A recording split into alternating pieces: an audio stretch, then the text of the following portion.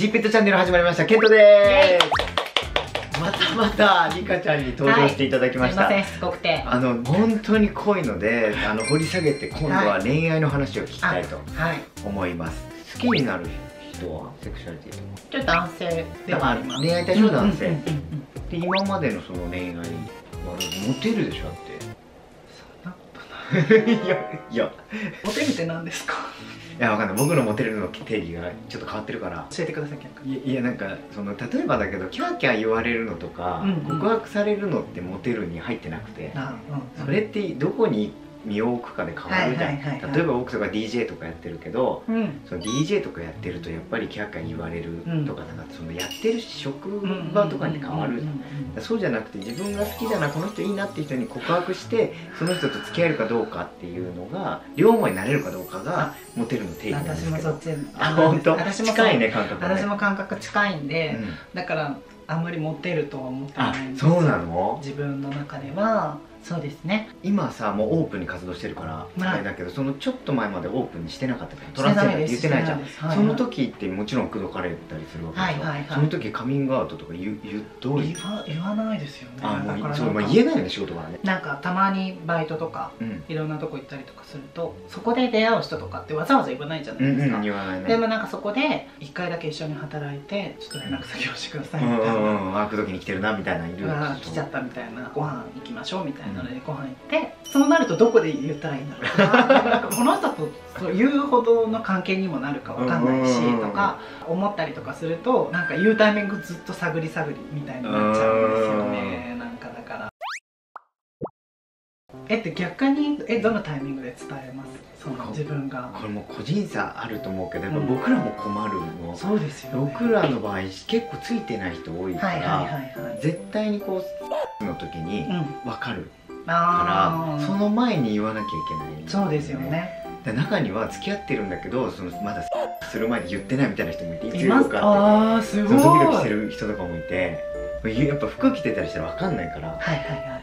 あと胸とか取っちゃってると触られても大丈夫わかんないですよさすがにあんまりこう女性でガツンみたいな人いないからうんうんなんかねそこがあれだけど。言われないとわかんないですしうんね最後のそのその手前ぐらいで僕は言うように手前ってどういうことですか？なんかベッドの上ぐらいが一番確率高かった。私結構あれです。ボール投げときえ何？何？ボール投げるって何？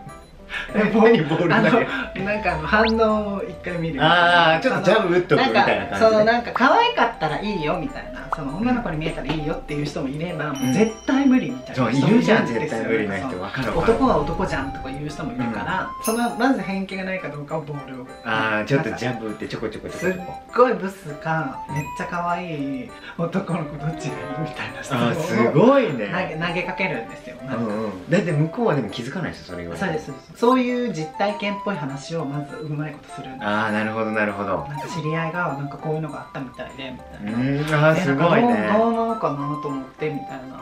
え全然いいんじゃないとか言われたらなんか言っちゃう、ああその場で言っちゃう。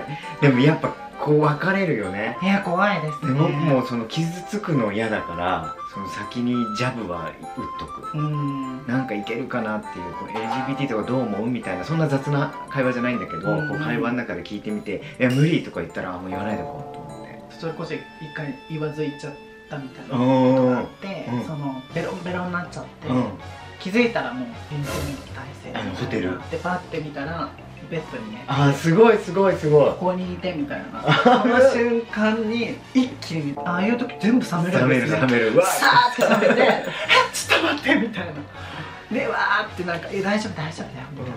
で優しく優しくするからって言ってもうなんかもうなんか 何も出てこない何も出てこない。時はか体はどうだったの？ねまだまだなんかあもう手術する前？上はあれだったんですけど上はもう補強あそうしてたです下はまだだったから「いやあちょっとちょっと」とかって言って私はなんか私はその殿方って上から触ってくるイメージ。大体こそううね。上から徐々に。っていう感じなんですけどその人ダイレクトまず下から来て 下から来た。えみたいななんか「いやちょっとちょっと」なんか今汚いし洗ってないしとかなんかもうなんかよくわかんないなんかわーパニックパニックパニックってなった瞬間にスポッて入ってきちゃって「てんてんてん」みたいな。嘘どうどうなったの？あ触られたってこと？M がっつり。あすごい。ごめんねみたいな。で向こうは触ってどうどうなああみたいに言うから「ごめんね言おう言おうと思ってたのにごめんごめんね」とかって言う言ってもう「あごめんごめん」とかって言ったら「ううんん、大丈夫もういいいいや」みたいなあ いいいいやってなったの？あとはどなのそううです。もうご想像ですえ嘘嘘、はい。気になるじゃんそれ。まあまあそれはたお楽しかっ いやすごいね。あすごいすごいそれ、たはいそういう。そういう人もいるよねあだからそうそうそうその人ね。はすごくなんか本当に優しくしてくれました、だってびっくりしたでしょ。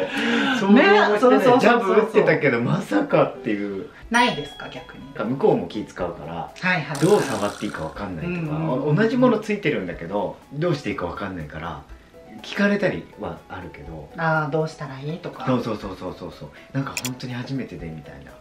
だからそういうコミュニケーションで楽しい感じにはなるけど、うんやっぱドン引きのタイプは大変だよね。結構傷つくしごめんしか言えないじゃん。でも別に僕らきっと悪くはないんだけど、この体が良くないとかそういうことじゃないんだよ。うんだけどごめんとしか言えなくてなんか誰も悪くないのになと思いながらやっぱ自分がごめんってなるのがうん。大変だよね、いやまあでも私は結構今の体になってから変わりましたけどね、あ本当？感覚は、いあそう？どどうどうなの？感度とかってさ気になるじゃん、うん初めていわゆるその行くっていう感覚を覚えた時はうん。失神しそうになりましたあ嘘。終わった後にもう体がなんかもう力入んないみたいあな本当。あんな感覚はなかったですね。あすごいね。だからなんか大変です。あ大変？言いたいことは大変だなと思いますけどなんか。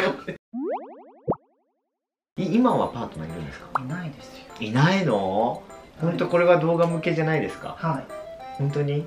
えー、なんでそのなんでっていうことなんですか？なんで？好きな人とか、なんか連絡部署なんですよすごい。あそうなんだ。あの LINE が超苦手で、うん。家に帰ったら結構一人になりたいみたいなタイプなんですけどそのなんかこう女の子に求めてる男の人の幻想みたいなのあるじゃうんないですか、うんありますね。好き好き好きみたいうんな、うんあの感じになれなくて。あそうなんだ。離れてる時間に。うんうんうん。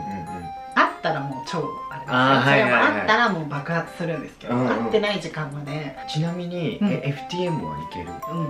あそうなの。大丈夫だとなんかよくさメンズは竿ないと男じゃないみたいな人いるじゃんあんま関係ないかな。人の内面的な生き様とかを好きになっちゃうタイプで、はいはいはいはいはい。だから若く見える40代とか見ると、ん。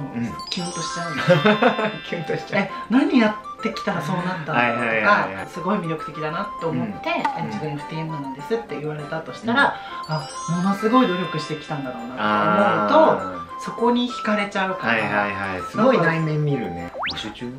はい全然募集してます。本当？募集中ということで。